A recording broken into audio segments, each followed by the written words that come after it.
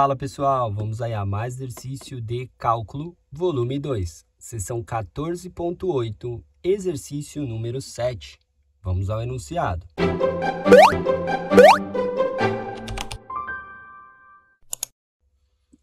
Utilize os multiplicadores de Lagrange para determinar os valores máximo e mínimo da função sujeita à restrição dada. Função de x, y, z igual 2x mais 2y mais e, x quadrado mais y quadrado mais e quadrado igual a 9. Bom, o objetivo aí do exercício é determinar aí os valores de máximo e mínimo da função utilizando aí os multiplicadores de Lagrange. Então vamos aí ao método do multiplicadores de Lagrange, que diz: para determinar os valores de máximo e mínimo da função de x, y, z, sujeitos à restrição g de x, y, z igual a constante, que nesse caso aqui é x quadrado mais y quadrado mais z quadrado igual a 9, supondo que esses valores extremos existam e que o gradiente de g é diferente de zero sobre a superfície g de x, y, z igual a k. Letra A, primeiro passo Determine todos os valores de x, y e z e lambda, tais que o gradiente da função f de x, y e z é igual a lambda que multiplica o gradiente da função g de x, y e z. E g de x, y, z é igual a k. E depois o segundo passo, que é o b, Calcule f em todos os pontos x, y, z que resultaram do passo A. O maior desses valores será o valor máximo de f e o menor será o valor mínimo de f. Então, para utilizar o método dos multiplicadores de Lagrange, a gente precisa aqui do gradiente de f. Então, temos aí quem é o vetor gradiente da função de x, y e z. O gradiente é a derivada parcial da função f em relação a x na direção y, mais a derivada da função parcialmente em relação a y na direção j, mais derivada da função f parcialmente em relação a z na direção k. Então, vamos poder aí começar determinando o gradiente da função f, que vai ser, derivando aqui a função f em relação a x, derivada de 2x dá 2. Derivada de 2y, 0. Derivada de mais e, 0. Isso na direção y. Aí mais, derivando a função em relação a y. Derivada de 2x, 0. Derivada de 2y, 2. Derivada de z, 0. Isso na direção j. Mais, derivando aí a função f em relação a z, derivada de 2x, 0. Derivada de 2y, 0. Derivada de z, dá 1, fica na direção k. Então, temos aí o gradiente da função f. Também precisamos determinar o gradiente da função g. Então, vamos ter aí o gradiente da função g de x, y e z é igual à derivada parcial da função g em relação a x na direção y, mais a derivada parcial da função g em relação a y na direção j, mais a derivada da função g parcialmente em relação a z na direção k. Então, vamos ter aí que o gradiente da função g de x, y, z é igual.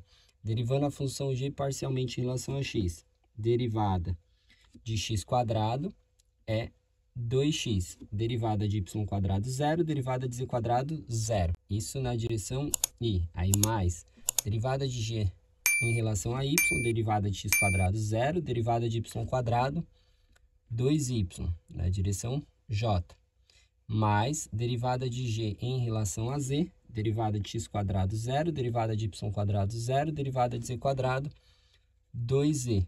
Isso aí na direção k. Ou seja, temos aqui essa equação é uma equação vetorial, né? Que tem três componentes, I, J, K, né? Que são aí as coordenadas dos dois vetores gradiente. Então, temos três equações escalares. Podemos escrever uma equação para a direção I, Na direção i, a gente vai ter 2, que vai ficar igual ao lambda, que multiplica aí a componente i aqui do vetor gradiente de g, que é 2x.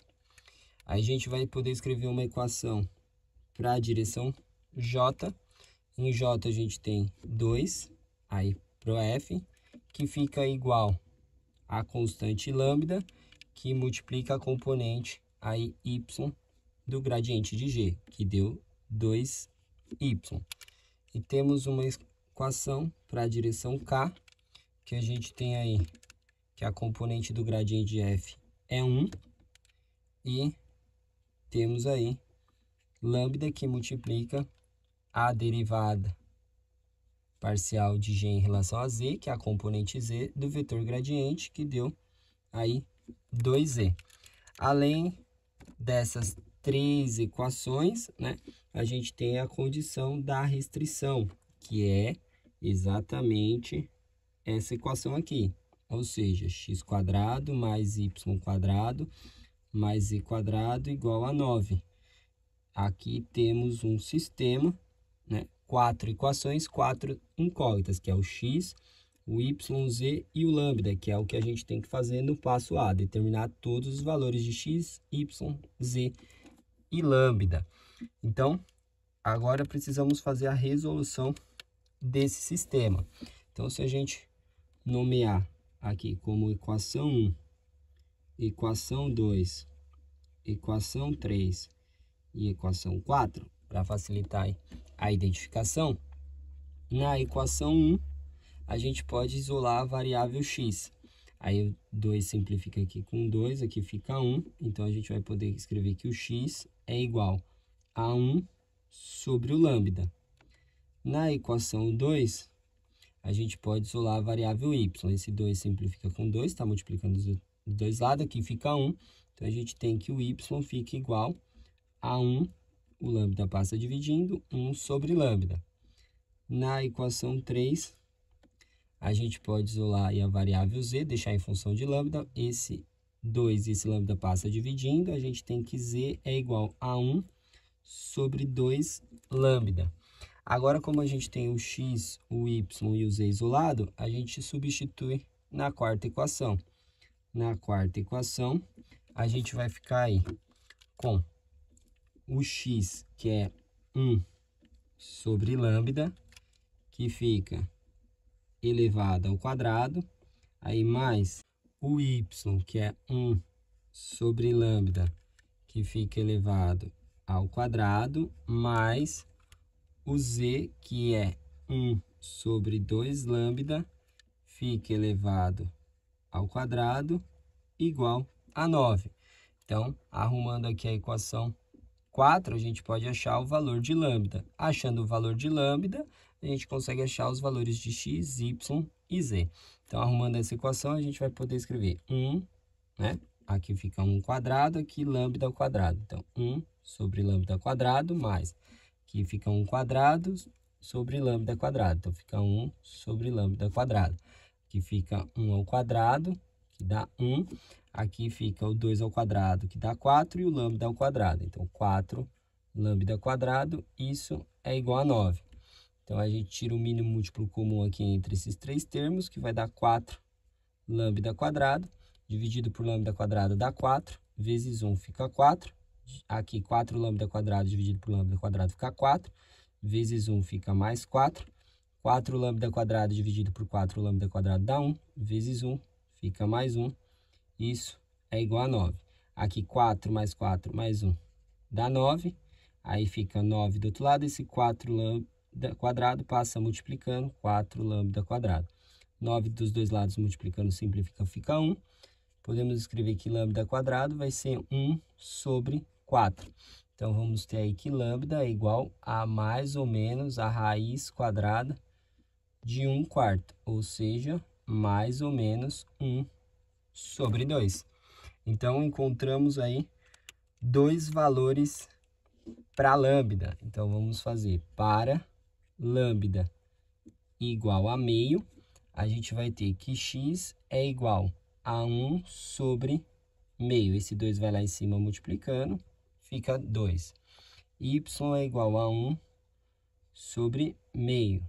Esse 2 vai lá em cima multiplicando, fica igual a 2. E z é igual a 1 sobre 2 vezes o lambda, que é meio. Esse 2 corta com esse 2, z igual a 1. Portanto, temos aí um ponto que tem coordenadas 2, 2 e 1, que é para lambda igual a meio. E pegando aí para lambda igual a menos meio, a gente vai ter que x é igual a 1 sobre menos meio, ou seja, menos 2. y igual a 1 sobre o lambda, menos meio, que vai dar menos 2.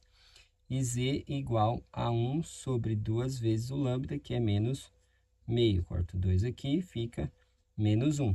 Portanto, o outro ponto é menos 2, menos 2 e menos 1. Aí a gente calcula para cada ponto, tá? Aí a gente vem para o item B, calcule f em todos os x, y e z, tá? O maior será o valor de máximo e o menor será o valor de mínimo. Então, a gente pode calcular aí a função para 2, 2 e 1.